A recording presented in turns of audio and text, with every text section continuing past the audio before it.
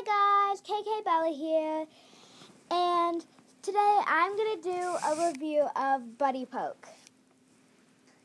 I'm actually making this video on Buddy Poke right now, and what Buddy Poke is, is mostly like you make an avatar, like that's my avatar, and you can make videos with your avatar, you can take pictures, you can play games, you can do a bunch of things with your avatar.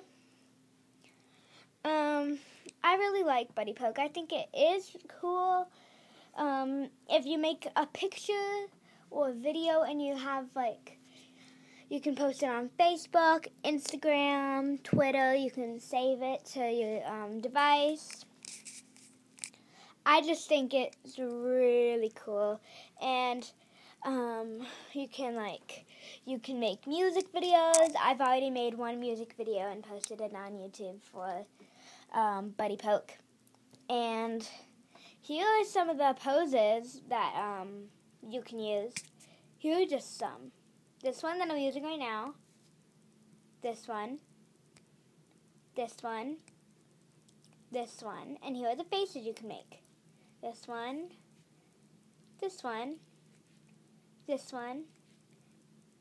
And this one. There are many more.